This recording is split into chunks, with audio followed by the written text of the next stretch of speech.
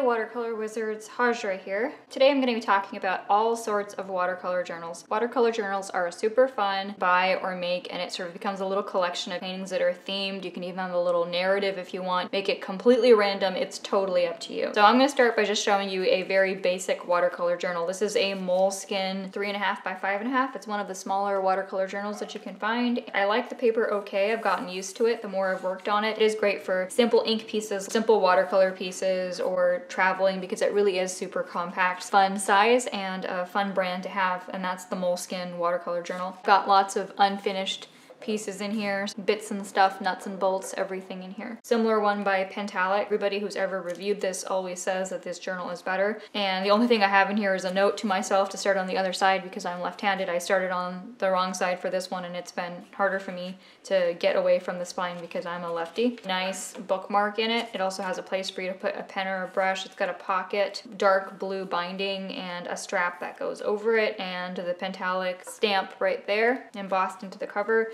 This has a black cover. I put an ugly piece of tape there. It doesn't come with that. It does have a pocket on this side that you can also put drafting paper and such on down the side with, but there is no bookmark and it does also have a strap but it also does not have a holder for your pencil. I've heard over and over again that the paper is better. It definitely feels quite a bit thicker. Super thick, almost flat, semi-cold press finish. This one also has a semi-cold press finish, but the paper is much thinner. Other types of Moleskine journals just for thumbnails, and I actually cut and paste thumbnails from my Kickstarter from a few years ago into here because I just wanted to be inspired to start doing pretty thumbnails in here.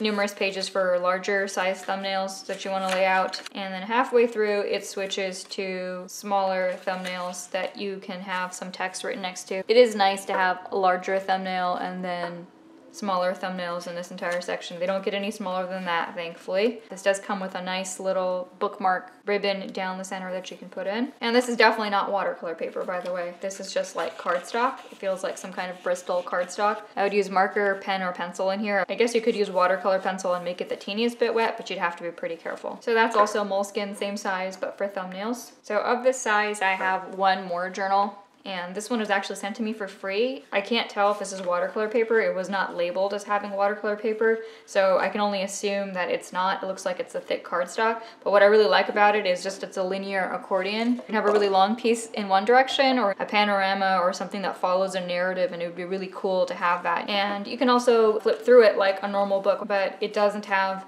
a back spine to keep it from folding out if you stretch it out. So I also have five by eight journals as well. Just like I have a small Pentalic, I've got a five by eight larger Pentalic. It's a bigger replica of the smaller one, including the bookmark ribbon, the pencil or brush holder, and the strap to close it, and also a pocket in the back for sketches. Again, the paper feels super thick. It feels like Arches paper. So in this larger size, apart from the Pentalic, I also have journal from the Handbook Journal Company. Sort of went journal crazy and bought a lot of them all at once a few years ago, and then I realized that they were a lot more trouble to finish than I thought, and have only finished one and a half. This is a five and a half by 8.25. It says it's great for pen and ink, pencil and markers, and accepts light watercolor washes without buckling, and it's acid free. Feels like nice drawing paper, but it feels even thinner than the the paper inside of the Moleskine journal. So this is definitely for drawing or for ink work because this is super thin. But I got these because I really liked the color of the cover. So this one has a blue cover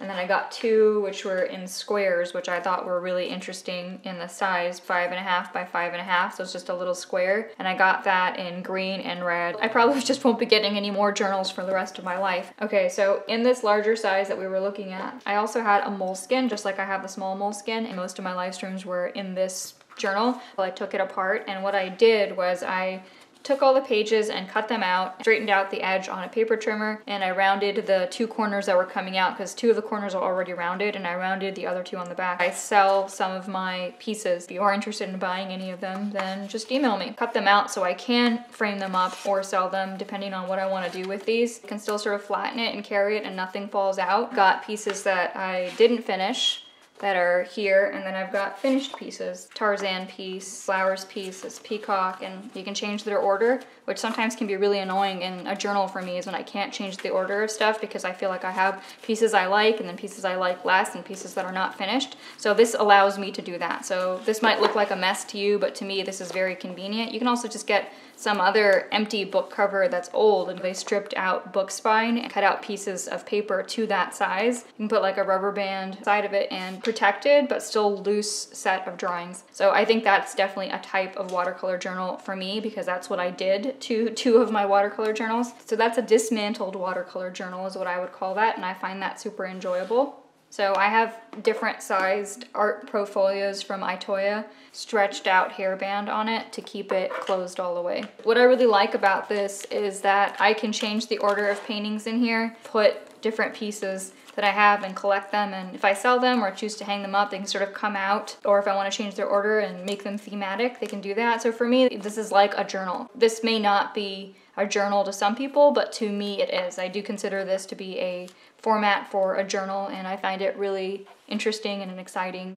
And it is acid free and a nice way to protect your work, an instant watercolor journal. So I've shown this ATC blank card collection that I put into baseball card sleeves a few weeks ago. Again, this may not seem like a watercolor journal to some of you guys, but if I put this into a binder or put covers around it, it becomes like an actual journal. It's an adjustable journal. You can see by the way that I got Annika's card finally from Sweden and these are the two cards that we did a collab on and it's just really cool for me to see her side of the collab and my side of the collab in one place together and just how different our interpretations were. And that's a benefit of having a watercolor journal that has sleeves is that you can actually put other people's pieces in there. And I'm not gonna show you how to make a bound book. There's plenty of YouTube videos that show you how you can bind that, glue these signatures together, and then make your own sort of cover covered with book cloth or with paper and glue it down. It's actually pretty easy if you like gluing and cutting and pasting. So you can try your hand at that, but I am gonna show you how to make some really easy ones to just to cut and fold some really simple ones that are almost instant. You guys have probably seen my color wheels in previous videos numerous times and these are just of all the different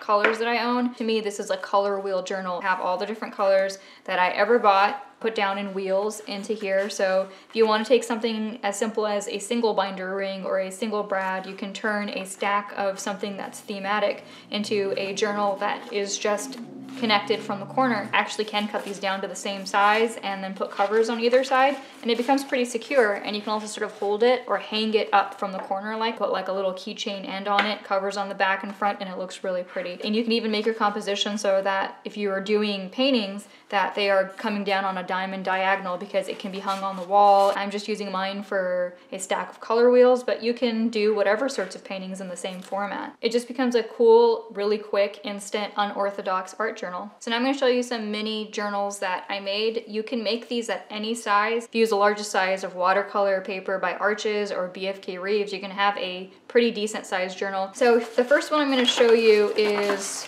this eight page journal and it's actually something I learned back in elementary school, folded into eight equal rectangular sections like I have here, and that's just by folding it in half and then folding it in half again and folding it in half again. And then when you unfold it all and then just cut a mouth in it right here in a diamond shape, then what ends up happening is you can flop this paper down onto itself and it turns into an eight page book. When I was in the third or fourth grade, that was like super magical and it kind of still is because I'm not really that different than I was when I was third and fourth grade. So basically you can have eight pages total with this or you can have six pages and two covers. So if you wanted bigger pages, cut a bigger piece of paper. If you want a smaller page journal, then cut a smaller piece of paper. For me, at this size, it's good because I can show you on screen how to fold these. In this case, there's 16 squares or rectangles folded into this entire piece of paper. After that, you cut the center into two doors like this. You cut two of these saloon cowboy doors into the center, of this piece of paper without touching any of the border squares so that you don't make a cut all the way through. Fold these doors out like that. And then after that, you take the top line of it, fold it down, the bottom line of it, and fold it up. And now you've got something that looks like this with the two doors on it and like a hill in the center. Fold that in half.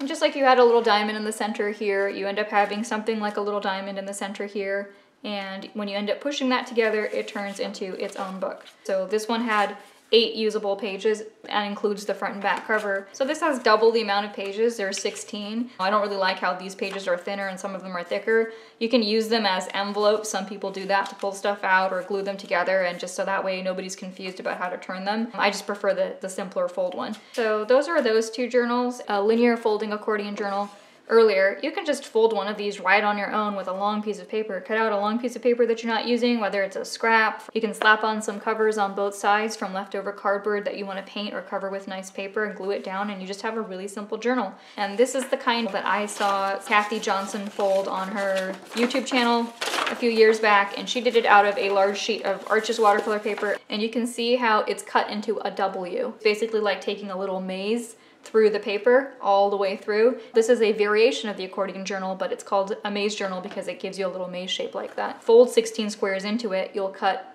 through three of them on one side, three of them on the opposite side, and then three of them again on the top side, and it'll give you a W. So with an accordion journal, you fold it front to back, front to back, front to back until it becomes an accordion. From the straight side, you say front and then back, and when you get to the corner, you don't want to cover up your previous pages and so you're going to fold it onto the last page not onto the first pages that you were folding. So now you folded onto this side and it's added an additional page to the journal and now you fold in a zigzag fashion again top to bottom until you get to the corner. Again you want to fold towards the last page not towards a stack of previous pages when you get to the corner. So you make the last page meet the next new page and then you do the same thing all the way across until you end up with a full journal. So this is going to be similar to this type of cutout journal in that some of the pages are going to have different fold thicknesses.